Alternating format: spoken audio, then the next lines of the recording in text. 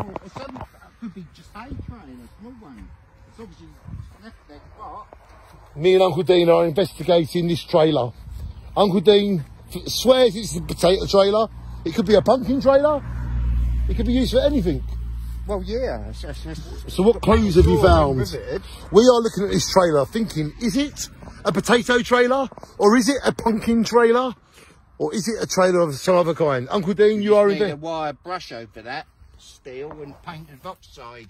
Ladies and gentlemen, we today we are confronted with this trailer.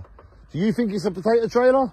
I reckon What? it's probably potatoes or whatever they farm around here. Exactly that. So whatever they farm, this is a trailer for it. Yeah. It looks a bit worse for weirdo, look. That's just, this is land that's not been used. Yes. They Walk their dogs, obviously.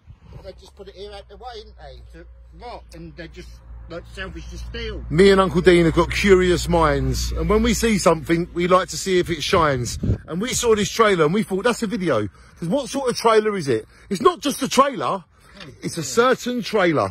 And whatever they're farming here, this is a this is a trailer for that. But it, if they farm potatoes, it's a potato trailer. If they farm pumpkins, it's a pumpkin trailer. Whatever they farm, this trailer is for the farm. Would you not agree, Uncle Dean?